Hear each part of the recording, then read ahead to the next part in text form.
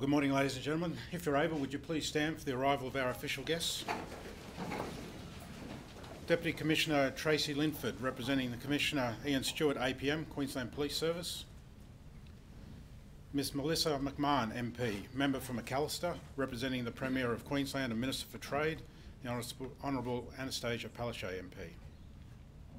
Mr Tim Mander, MP, member for Everton, Deputy Leader of the Opposition and Shadow Treasurer, representing the Leader of the Opposition and Shadow Minister for Trade, Mrs Deb Frecklington, MP. Mrs Sally, Sally Gregory, National Vice President, Australian Bravery Association, representing Mr Andrew Kendall, National President, Australian Bravery Association. Ladies and gentlemen, please join with me in welcoming our official guests.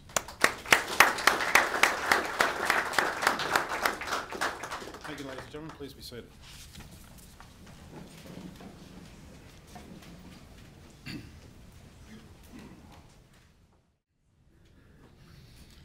Thank you, ladies and gentlemen. Again, if you're able, would you please stand for the arrival of the Governor and Mrs De Jersey.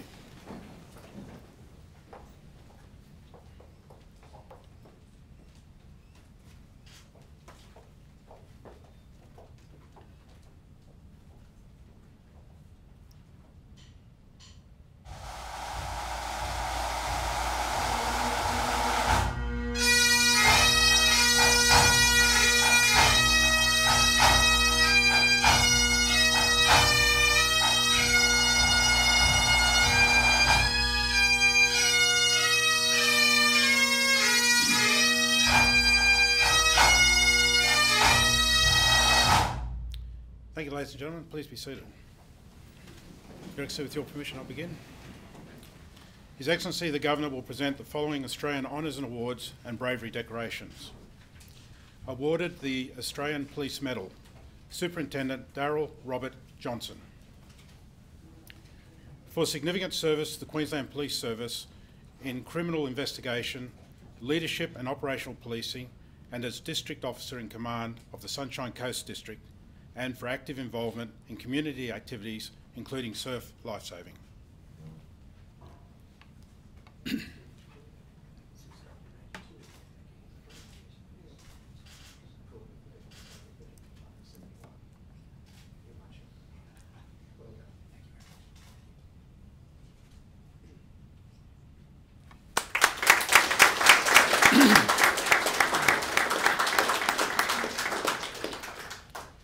Detective Inspector Jonathan Patrick Rouse. For significant service to the Queensland Police Service in leadership and excellence in online child sexual offence investigations and improving capability and training in the area of child safety.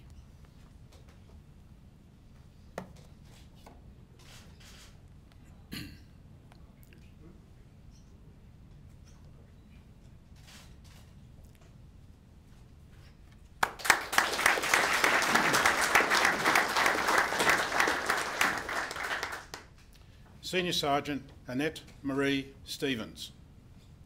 For significant service to the Queensland Police Service, providing exceptional advice on administrative matters and the management of personnel, and for driving innovative work practices for women seeking to balance work and family commitments.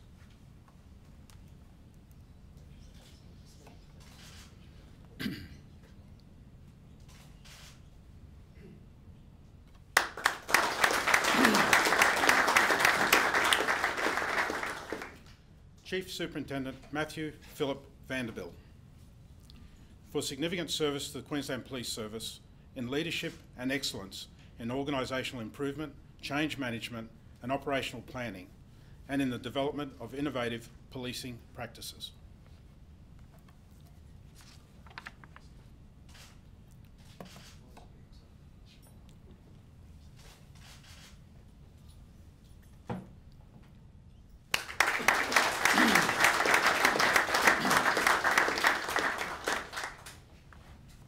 The Bravery Medal, Mr Thomas Bruce Harper, Mr J Xander Waters. On the morning of the 26th of September 2016, Mr Thomas Harper and Mr J Waters went to the assistance of another surfer during a shark attack near Ballina in New South Wales. Mr Harper and Mr Waters, both then aged 16, were surfing at Lighthouse Beach with another friend. As they paddled on their boards out to their friend, they saw his board lift out of the water as a four metre great white shark attacked. The boys saw the shark lunging at their friend, grabbing his leg and the surfboard and knocking him into the water. Despite the danger, Mr. Harper and Mr. Waters paddled out to the injured boy, where they saw the shark was tangled in the board's leg rope. Without hesitation, the boys grabbed hold of their friend's arm and placed him between their surfboards and began to paddle towards the shore. By this time, the shark had disentangled itself from the leg rope and began to pursue the boys at a close distance. Despite the threat of the shark attacking again, the boys conveyed their injured friend to the shore, where he was treated by emergency services before being taken to Lismore Base Hospital, where he recovered from his injuries. By their actions, Mr Harper and Mr Waters displayed considerable bravery and are awarded a Bravery Medal.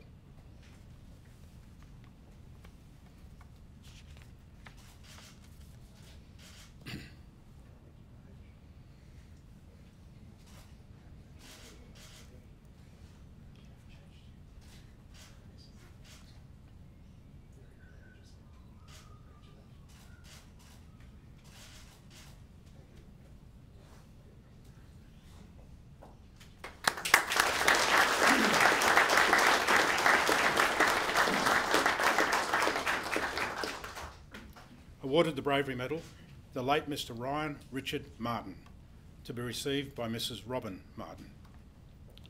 On the afternoon of the 25th of March 2016, Mr Ryan Martin and several other people were involved in the rescue of a mother and her young daughter from a dangerous rip at Dreamtime Beach in Fingal Head, New South Wales.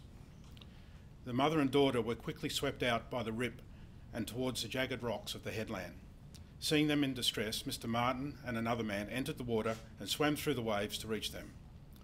Mr. Martin grabbed hold of the girl, and the other man grabbed hold of the woman and assisted them to stay afloat and away from the rocks. The group then continued to be pushed around the headland by the rip. When Mr. Martin and the other man became tired, others who had also entered the water helped the woman and child stay afloat and managed to swim the woman back to the beach. By this stage, Mr. Martin was in difficulty and unable to stay afloat.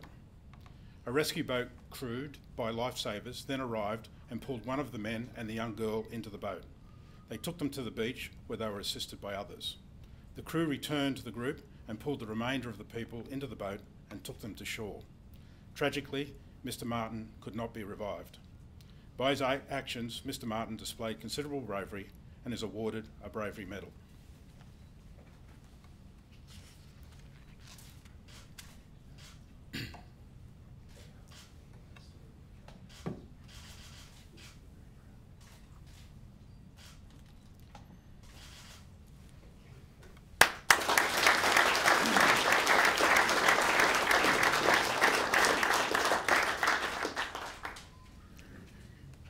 Awarded the Bravery Medal and awarded the Commendation for Brave Conduct and awarded the Group Bravery Citation. Senior Constable Adam David Tickner, Mr Peter Neil Steer, Senior Constable Michael Romus Gregalius, Sergeant Gordon Dean Holmes. In the early morning of the 6th of November 2014, Senior Constable Tickner, Mr Steer, Senior Constable Gregalius and Sergeant Holmes were involved in the apprehension of an armed offender at Noosa Heads in Queensland. At 4.45am, a domestic violence incident occurred at a residence in Noosa Heads when a male discharged a firearm causing head injuries to a female who required hospitalisation. The offender fled the scene on a motorcycle before flagging down a vehicle driven by Mr Steer. In a dis distressed state, the offender admitted the assault to Mr Steer believing he had killed his partner. He surrendered his firearm to Mr Steer, who placed it in his vehicle and then called triple zero. While waiting for the police to arrive, the offender opened the passenger door and retrieved the firearm from the car. He then pointed it directly at Mr Steer before commandeering the vehicle and driving off. Soon after, Senior Constable Tickner and, and another police officer arrived at the scene. Mr Steer got into the police car and provided information to the officers about the offender as they pursued the stolen vehicle. A few kilometres down the road, the offender crashed the stolen vehicle into a 7,000 litre liquid gas tank at a service station before entering the service station shop Senior Constable Tickner and the other officer stopped the, the police vehicle and with pistols drawn ran across the forecourt. A strong smell of gas permeated the air and the gas could be also heard venting from the damaged tank. Senior Constable Gregalius and Sergeant Holmes then arrived at the scene. The offender left the shop and moved towards the leaking gas tank with his hands concealed by a jacket. Senior Constable Tickner moved towards the offender and ordered him to stand down. The other officers, who were about 20 metres from the gas tank, were concerned about the danger from the leaking gas, particularly as bystanders were nearby. Senior Constable Tickner informed the offender of the victim's condition and convinced him to surrender before apprehending him with the assistance of another officer. The other officers quickly ran to the gas tank and attempted to shut it off. By his actions, Senior Constable Tickner displayed considerable bravery and is awarded a bravery medal. He is also receiving a group bravery citation for this incident. For his actions, Mr Steer is awarded the Commendation for Brave Conduct. And for their actions, Senior Constable Gregalius and Sergeant Holmes are recognised by the award of a Group Bravery Citation.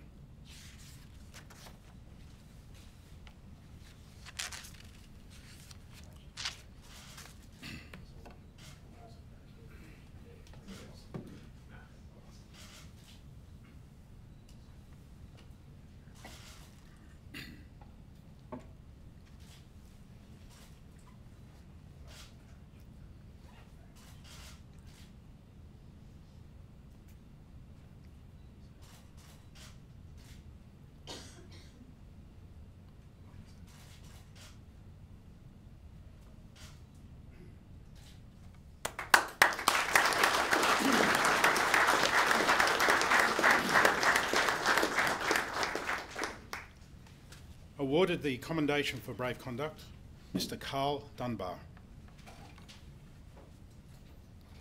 On the afternoon of the 30th of June 2014, Mr Carl Dunbar, two other men and a woman were involved in uh, an incident with an armed offender at a supermarket in Maroochydore, Queensland. At about 4pm, a male customer entered the supermarket and approached the cashier. As the cashier opened the cash register, the offender, armed with a pair of scissors, lunged over the counter and took money from the till. The woman, an employee of the supermarket, quickly pushed the cashier away and grabbed hold of the offender's wrist. The armed offender threatened the woman, who then yelled for assistance. One of the men, the store manager, approached from the other side of the counter and assisted in holding the struggling offender. The woman momentarily let go of the offender and moved around the counter to assist the man. The struggling continued and the offender violently bit both the man and the woman. As they continued to wrestle the offender, they fell to the ground. Mr Dunbar and another man entered the supermarket and assisted in pinning the offender to the floor, and despite the offender's continued threats, maintained their hold until police arrived. For his actions, Mr Dunbar is awarded the Commendation for Brave Conduct.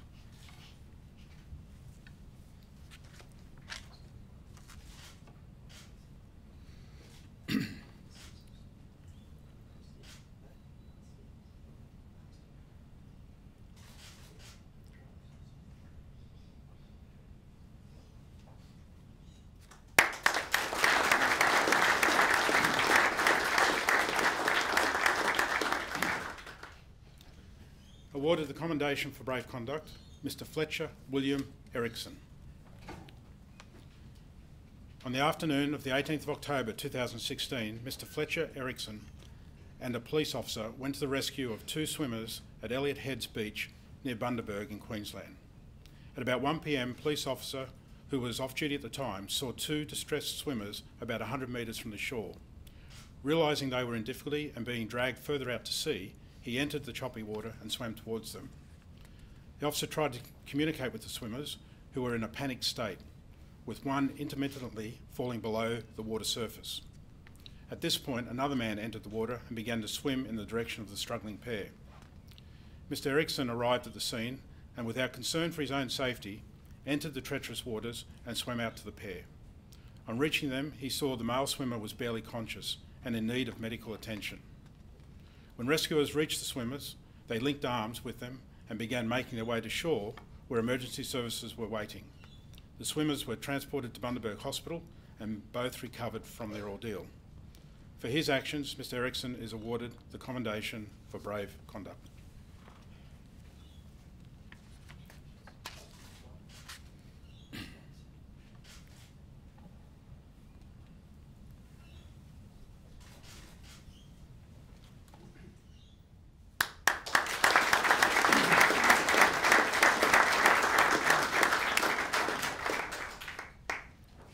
Awarded the Commendation for Brave Conduct, Mr Warren George Francis. On the evening of the 26th of April 1993, Mr then Senior Sergeant Warren Francis and another man went to the assistance of a vessel in distress near Wide Bay in Queensland. Queensland Water Police officers Senior Sergeant Francis and the other man boarded a police vessel and headed towards the Wide Bay Bar crossing to provide support to the Tin Can Bay Volunteer Coast Guard, who had gone to assist a, string, a stricken cruiser that was in difficulty in treacherous seas. On attempting to cross the, the bar, the volunteer Coast Guard had to turn back due to the dangerous conditions and after crew members had sustained injuries. Senior Sergeant Francis and the other man began crossing the bar in their vessel and encountered violent waves, wind and driving rain. They located the stricken cruiser, which they saw being knocked down three times by the high seas before righting itself. Senior Sergeant Francis navigated the police vessel close to the cruiser and the other man transferred fuel to the cruiser. They then escorted the cruiser to a less treacherous area where both vessels anchored for the night. At first light, a Tin Can Bay volunteer Coast Guard boat arrived and assisted the cruiser and the police vessel to more protected waters inside the Wide Bay Bar. During the rescue, the police vessel was significantly damaged by the high waves and winds, and Senior Sergeant Francis and the other man sustained broken bones and other injuries. For his actions, Mr Francis is awarded the Commendation for Brave Conduct.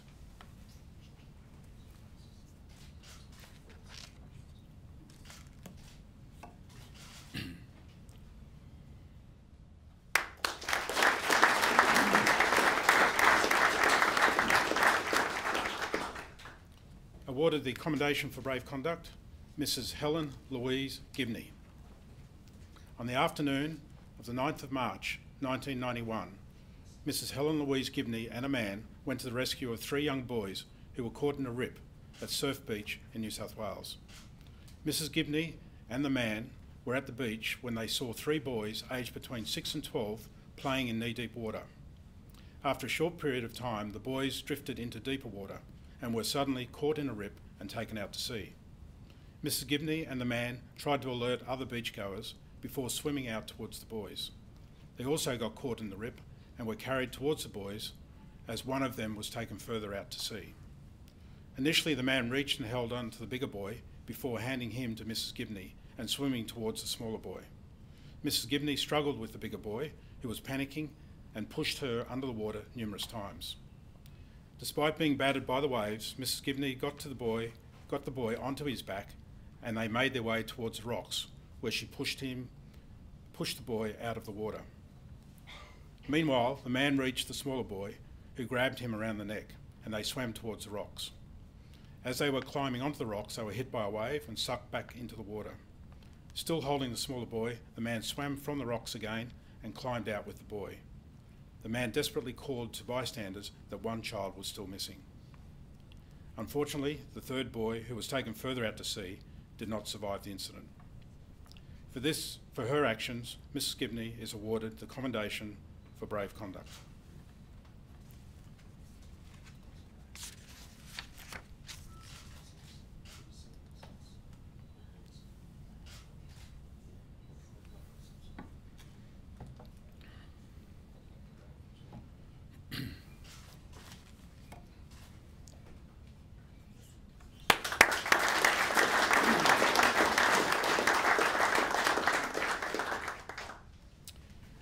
Awarded the Commendation for Brave Conduct, Senior Constable Cameron John Mosley. On the 13th of February 1993, Senior Constable, then Constable, Cameron Mosley and another police officer assisted a woman during an attack at the community of Hermannsburg in the Northern Territory. Constable Mosley and the other officer were assisting a non-responsive man after a disturbance of about 40 people, armed with various weapons, uh, surrounded them in a threatening manner. At this time, a woman came running down the road in their direction, yelling for help as the group indicated she was responsible for injuring the non-responsive man. The officer saw a man ri raise a pocket knife above his head and stab the woman. Constable Mosley grabbed the woman and the other police and the other police officer was able to put her behind the driver's door of their vehicle and shield her with his body. Constable Mosley went towards the offending man, restraining him as the pocket knife fell to the ground.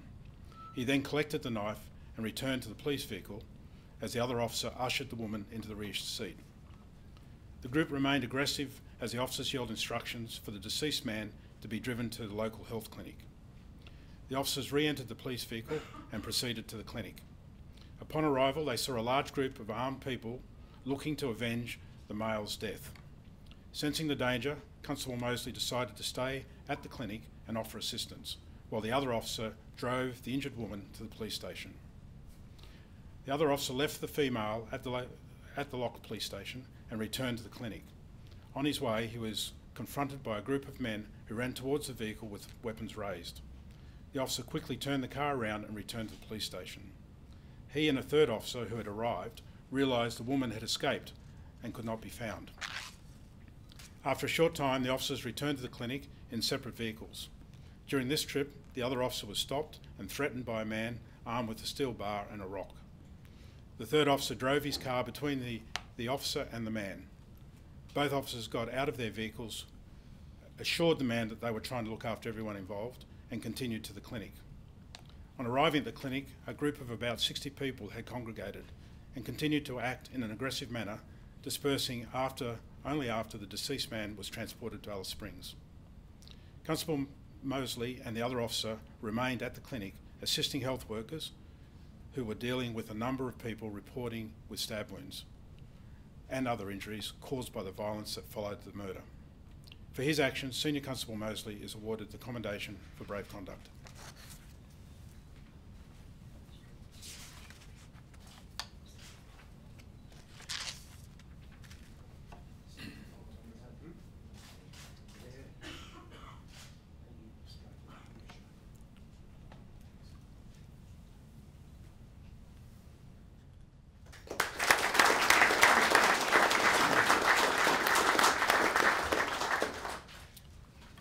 Awarded the Commendation for Brave Conduct, Ms Cheryl Lynn Suzanne Richardson.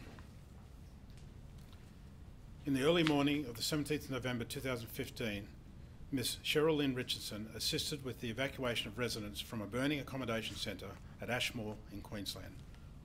Ms Richardson was working at a supported accommodation complex when she heard a fire alarm activate. When all the alarms on the premises sounded, she went to investigate. Ms Richardson made her way to the east side of the complex, where she could see flames flickering under the door of a unit.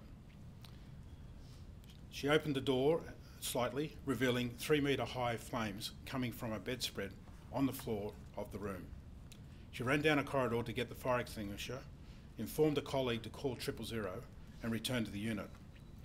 Realising the fire was taking hold, and with the duty of care for the 34 residents, Ms. Rich Ms. Richardson began to check other rooms for occupants. As soon as she knew the nearby units were empty, she ran back to the other building to assist residents. Despite the dangers and smoke, Ms. Richardson crawled down a passage towards the office to obtain the roll call book. She checked other areas for occupants before making her way to the car park and conducting a roll call, ensuring everyone had been evacuated. Soon after, emergency services arrived. For her actions, Ms Richardson is awarded the Commendation for Brave Conduct.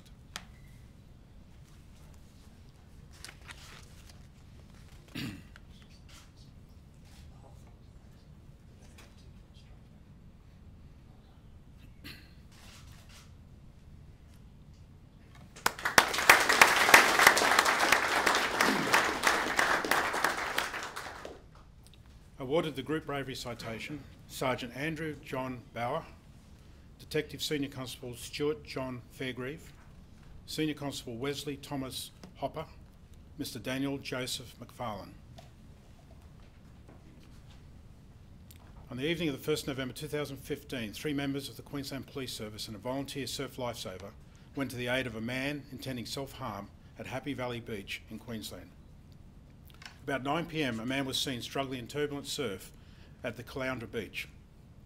A volunteer surf lifesaver who was at his home unit, went to investigate and was alerted to the man floating out to sea. The lifesaver ran to the beach and entered the water to assist. A police officer, also alerted to the struggling man, had already entered the water, was making his way to the swimmer in distress.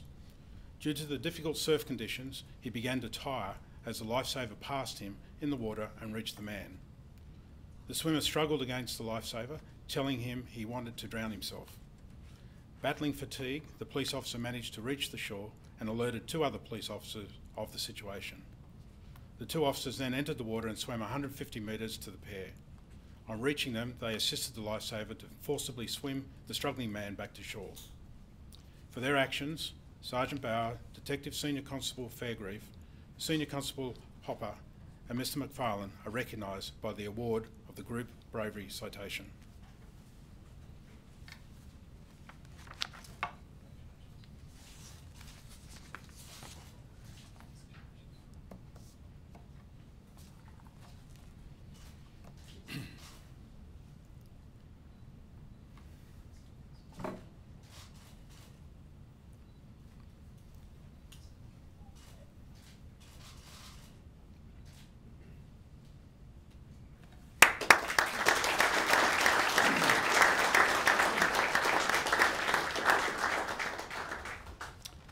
That concludes this morning's awards. Could I now invite you to address the recipients and their guests? Ladies and gentlemen, girls and boys, welcome to you all to Government House. My wife Kay and I are absolutely delighted that you join us here on this very special day in your lives. I begin by acknowledging the traditional owners of the lands on which we gather, the Turrbal and Yagara peoples, and pay my respect to their elders past and present, with encouragement to their young emerging leaders.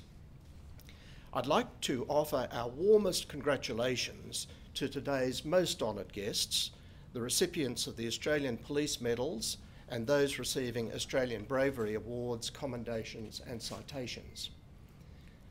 This room in which we gather this morning is known as the Investiture Room because ceremonies like today's are its primary purpose. That said, I should stress that investitures are by no means a daily occurrence. On the contrary, recipients of Australian honours and awards are part of an exclusive group, if I may say so, comprised of the best our nation has to offer. Australian honours and awards are a vital component of our social fabric. No matter which part of our country you come from, no matter what your background is, the honours and awards help define, encourage, and reinforce national aspirations, ideals, and standards by identifying people who make an outstanding contribution to our society.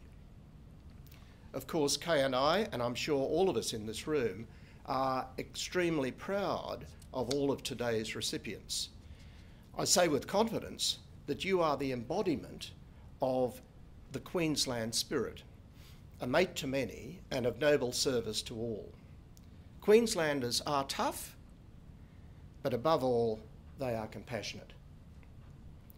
There are many ways to make a difference, but what you recipients have in common is that you have contributed in a way that is both unique and altruistic.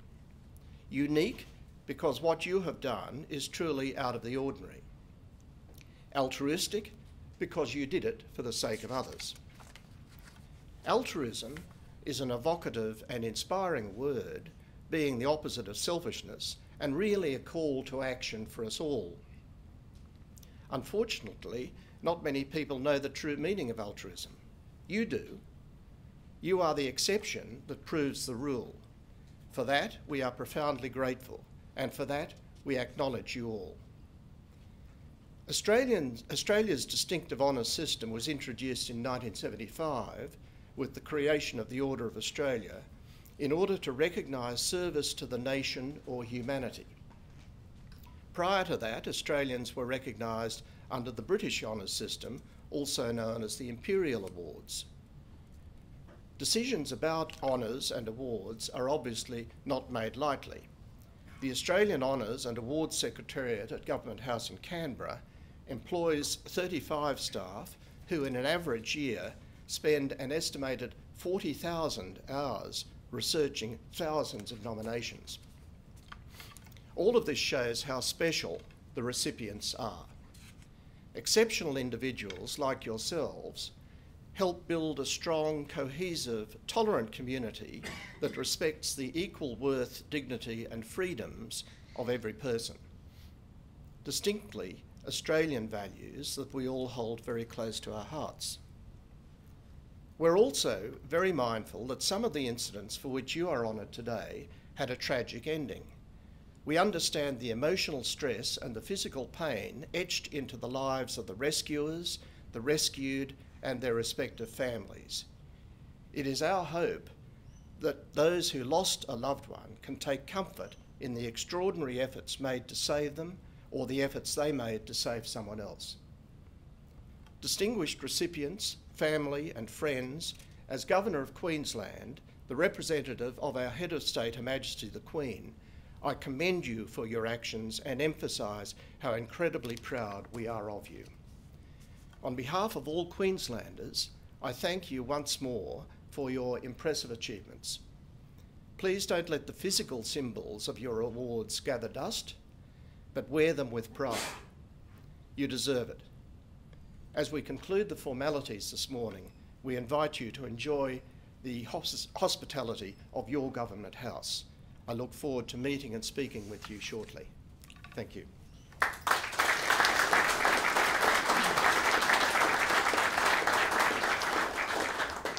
Thank you, Your Excellency. Again, ladies and gentlemen, if you're able, would you please stand for the Vice-Regal salute?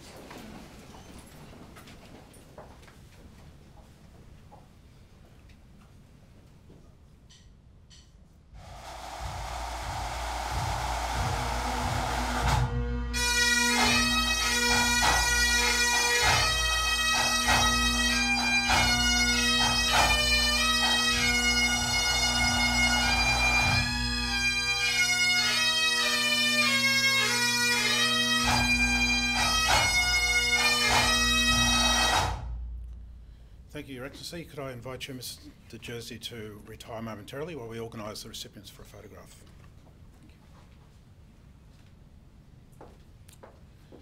Major Milligan, would you take our official guests outside, please, if you'd like to follow Major Milligan?